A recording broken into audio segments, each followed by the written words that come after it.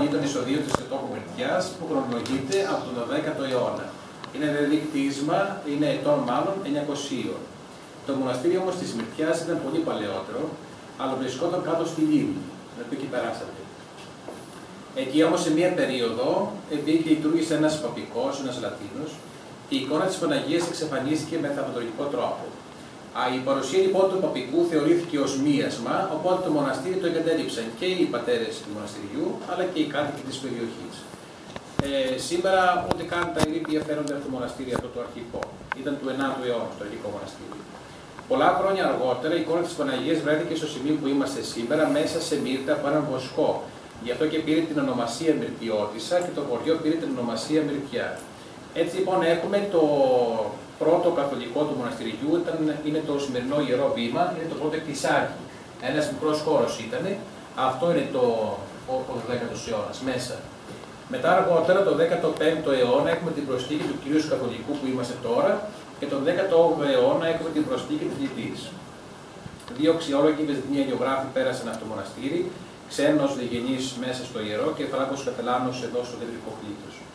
Εάν παρατηρήσετε τις αγιογραφίες, ε, θα δείτε ότι και κυρίω σε όλα τα μοναστήρια σημαίνει αυτό τα παλιά, ότι λείπουν τα μάτια των Αγίων. Αυτή είναι η απόδειξη ότι από εδώ πέρασαν οι Τούρκοι, αλλά και στον Εμφύλιο πόλεμο είχαμε τέτοια δυστυχώς ειδικά. Είναι η μανία των Αθέων να βγάζουν τα μάτια των Αγίων. Και ξέρετε ότι γιατί βγάζουν μόνο τα μάτια, διότι τα μάτια είναι το πιο εκφραστικό μέρος του σώματος. Λέμε καμιά φορά σε βλέπω στα μάτια και καταλαβαίνω πώς αισθάνεσαι. Γι' αυτό και δεν κατέστρεφαν όλη την αγιογραφία. Με το που κατέστρεφαν τα μάτια, ήταν σαν να κατέστρεφαν όλη την αγιογραφία όπω είχε γίνει. Στο πίσω μέρος του Καθολικού θα μπορείτε να επισκεφτείτε το κρυφό σχολείο που υπάρχει εδώ στο μοναστήρι. Η εικόνα της Παναγίας που προσκυνήσατε είναι το αντίγραφο της παλιάς εκείνης εικόνας που βρέθηκε εδώ στο μοναστήρι και είναι η μοναδική εικόνα ανά τον κόσμο και είναι και πολύ επίκαιρη τώρα στις μέρες μας, διότι ναι, μεν είναι η Παναγία η Μυθιώτησα, αλλά η επιγραφή της είναι η ελπίση των απελπισμένων.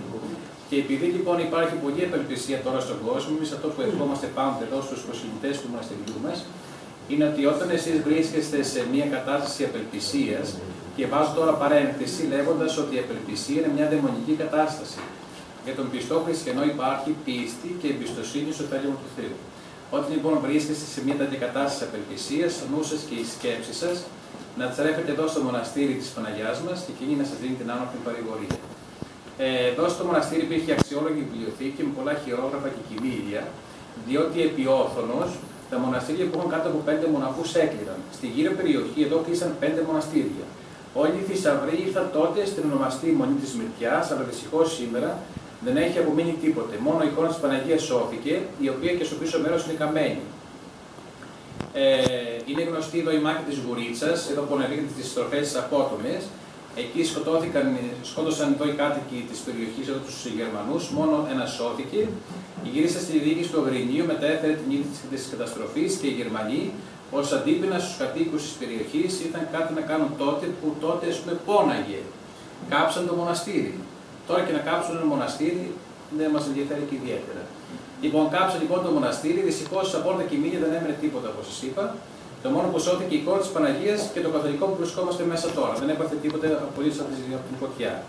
Ε, αυτό το μάθημα που υπάρχει είναι από τη φθορά του χρόνου. Όλα τα γεωκτίσματα είναι μετά το 70. Ξαναέγιναν με την παλιά μορφή που υπήρχε το μοναστήρι. Έτσι, αυτή είναι εν ολίγης είναι τώρα η ιστορία του μοναστηριού. Σε ευχόμαστε η Παναγία να είναι πάντα μαζί y Juan por